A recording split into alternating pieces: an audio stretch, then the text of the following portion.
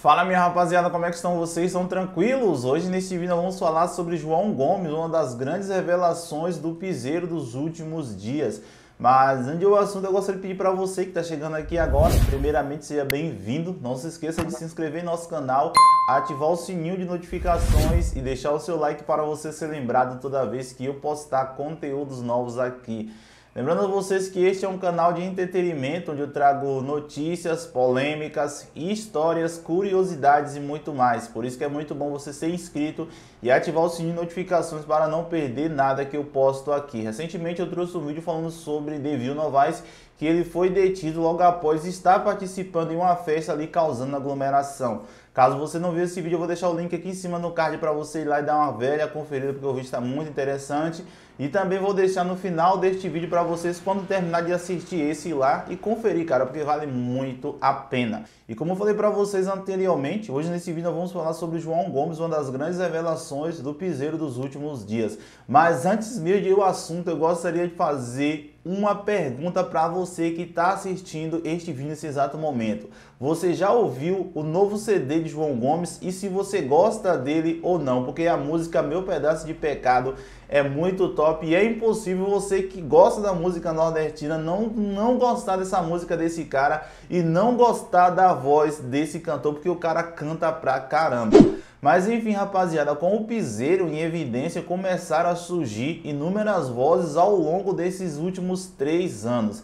E entre esses cantores tem alguns que estão assim, digamos que super estourado, que é o exemplo de DJ Ives, Zé Vaqueiro, os Barões da Pisadinha, Natan, que embora para mim ele ser do piseiro, mas ele tem uma grande influência mais pro lado do forró, pra banda completa. Eu costumo assim, digamos que não é, comparar os dois, mas eu acho que Natan, o perfil dele assim parece muito com o nosso eterno Gabriel Diniz. Aí nós temos Bildo Piseiro, Vitor Fernandes, Josué Bondifaixa, que o cara tá chegando agora também e que tá com a música estourada aqui no YouTube, tá batendo mais de 11 milhões de visualizações. Então assim, a safra do Piseiro, ela está muito boa.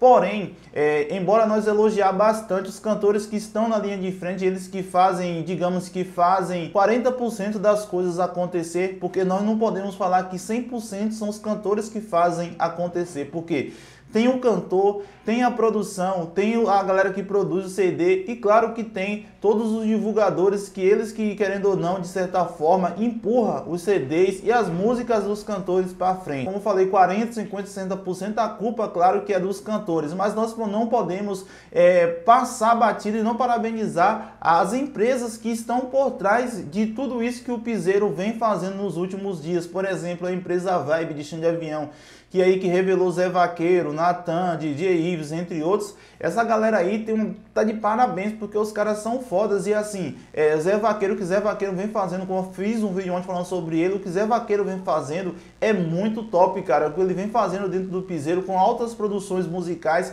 isso é de sim parabenizar. E a outra empresa que ajudou bastante o piseiro nos últimos tempos é a Top Eventos. Cara, a Top Eventos eu, eu acostumo falar que ela ainda tem mais assim, digamos que mais cantores que fizeram sucesso do que a própria empresa Vibe lá de chão de avião. Para vocês que não sabem, a Top Eventos gerencia carreiras de cantores como Bill do Piseiro, Vitor Fernandes, Tarcísio do Acordeon. Eles já chegaram ali a gravar alguns CDs com o Pedrinho da Pisadinha. E agora eles estão com, com um cara que para mim é uma das grandes revelações do Piseiro e que promete fazer muito sucesso de agora em diante, que é João Gomes. Eu não citei, mas vale a pena ressaltar também que Pisadinha de Luxo faz parte da cast de artista lá da empresa deles. Top Eventos, eles estão de parabéns porque o que os caras vêm fazendo dentro do piseiro e da música nordestina nos últimos tempos é inexplicável, porque os caras assim, eles têm um olho muito bom para ver onde é que mora o talento. O grande exemplo que eu estou falando nesse vídeo é João Gomes. João Gomes que é dono de uma voz assim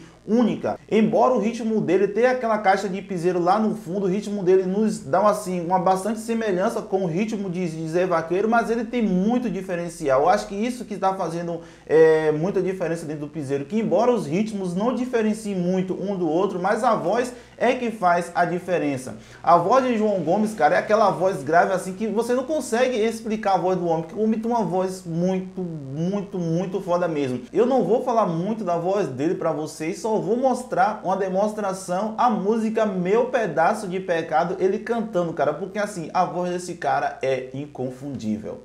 Pedaço de pecado e corpo colado, vem dançar comigo. Quero ser teu namorado, ficar do seu lado e falar no ouvido que. Pois é, rapaziada, como vocês viram aí, João Gomes, ele canta demais. Se eu não me engano, ele é lá da região de Petrolina, no Pernambuco. Esse cara vem chamando muita atenção nas redes sociais nos últimos tempos.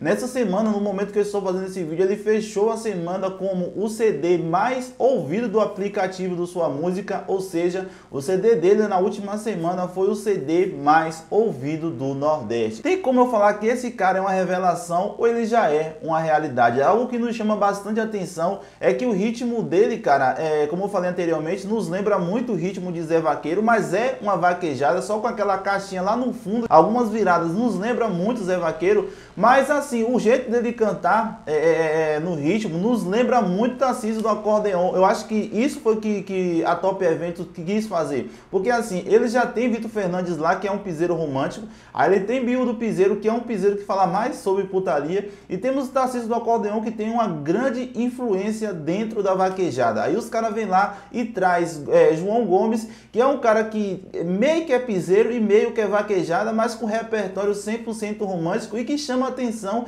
em qualquer lugar que ele chega, porque a voz dele é muito top e a voz dele é diferenciada das vozes que nós já estamos vendo aí no mercado, aqui em São Paulo mesmo particularmente, praticamente agora todos os dias eu vejo alguém passando com carro de som já ouvindo ele. Então assim, na minha concepção, esse cara aí já é uma das grandes revelações da música nordestina do ano de 2021. Mas assim, rapaziada, o que é que você acha da carreira de João Gomes? Na sua concepção, ele é uma das grandes revelações deste ano, sim ou não? Deixa aqui nos comentários. Bom, gente, muito obrigado por você nos assistir até aqui. Eu espero vocês no próximo. Tamo junto.